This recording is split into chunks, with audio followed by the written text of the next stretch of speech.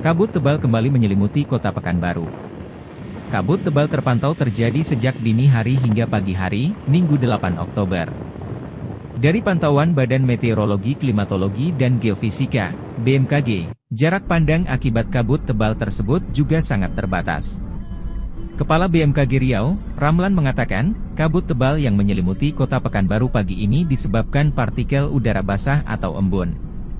Sebelumnya pada hari Sabtu 7 Oktober, Kapolresta Pekanbaru telah mengadakan rapat koordinasi untuk bersiap menghadapi potensi kar laut dan banjir.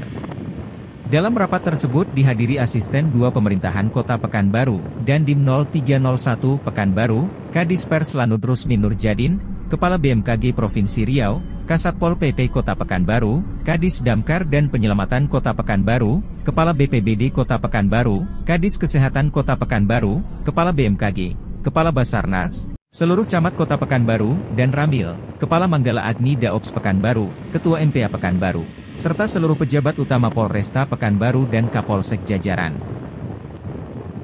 Dari Pekanbaru Riau, tim liputan melaporkan.